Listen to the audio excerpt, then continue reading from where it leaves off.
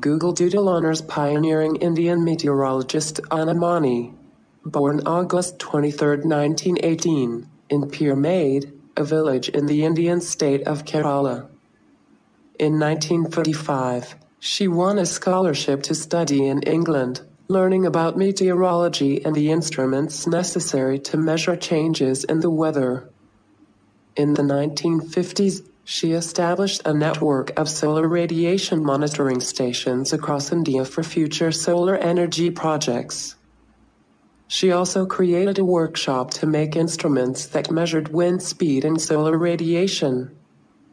Anna Mani standardized the drawings for nearly 100 different weather instruments and started their production during the International Geophysical Year 1958.